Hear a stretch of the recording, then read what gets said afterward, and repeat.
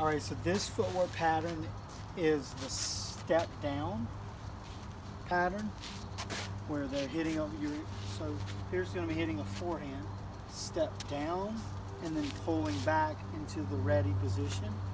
And so he's gonna time the step and make the swing long. And then as he finishes, his left foot is gonna come with the finish. So he's gonna synchronize this with this. So, see? He's gonna go like this. He'll go synchronize, step back. Step down, step back. back. Ready? So behind the baseline. Don't hit the camera, go cross grip. Alright, so ready position, good ready, wide, wider stance. Good. Alright, ready? And step down. There you go. Step down. Good. Try to keep your head, Pierce. Try to keep your head underneath your body. So try not try not to lean back. Okay? Okay? Step down, pull back. Good. Step down, pull back. There you go, do it again. Step down, pull back. Step down, pull back. Now let's do it with the return and then the R1. So go to return serve. So now we're putting this into context. He's going to do a return a serve, step down, step back, and then he's going to reset and do it again. Okay, you ready, Pierce? Here we go. You ready? Step down, pull back, reset, cross over, shuffle, step down, pull back. There you go. Do that again. Both those balls went over. Okay? And we'll move this camera closer so they can see you. Ready? So step down, pull back, good, cross over. No, no, yeah. So, so here's your footwork pattern. First, ready? Your step down, pull back, cross over, shuffle. Split step. Cross over, and then split step. Good. So when I when I release the ball, that's when you split step on both balls. Ready? So ready? So split step, go reset, and split step. Good. So which way did you go to the deuce court on the return? If you go to deuce court on the return, reset. Don't go all the way back to the center, reset on deuce center. Are you ready? So go split step and step down. There you go, reset. Don't lean back, push forward. There you go. So try, try not to try not to lean back when you hit this.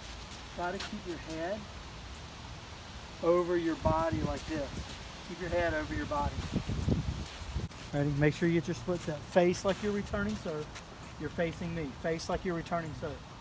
Ready? Split step. You didn't split step. Do it again. Ready? Split step. Good. Reset. Good balance on that one. Kind of lean back on that. If if if if you're leaning back, it's because you're not getting to the ball. So you gotta you gotta get up to the ball. You gotta get up to the ball, and then hit, and then do that. So, does that make sense? You don't you don't want to be reaching for the ball. That means you're gonna lean back. Okay, you gotta get up to the ball. Face like you're returning serve. Over there. Here, I'll do it from this side so you can see me. Ready? Here you go. Face me. Ready? Split step. Ready? Split step. Good. Reset. Split step. Better. Do it again. Go. Reset. Split step. Good. Split step. You didn't split step. Do it again. You got to split step when I throw the ball. Ready? Go. Come on. You're, no. Can you reset with more intensity? Okay, you're just walking back nonchalant. I need for you to really cross over and shuffle step. Ready? Go. Split step. Go. Cross over. Good. Excellent. There you go. Now, come up here. So do the step down right here, ready? So split step, step down, no, step down as you hit. Do the stroke. Good. So what he's doing is time, time, time the swing with coming back. Do it again. Split step. You it.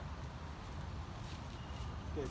Now what he's doing is he's not giving up any position here. Okay. Do the one where you step down and swing. Swing around with your body. Step down, swing around with your body. Right. Good. Do it one more time. Good. Now do it with me throwing something out wide. Go cross court, ready? Step down, cross over. So do you see how he gave up a lot of space here?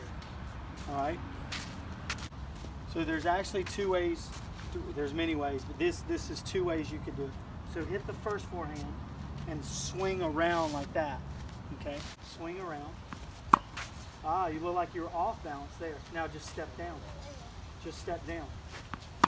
No, no step down and come back. Pull back. Step down, pull back. Do it again. Step down, pull back. Now, wasn't your balance more solid on that one? Yes, so your his their balance is they're able to keep their balance better if they step in and step back versus step in and swing. Their head tends to go this way because they're small and it's hard to control your head. Okay.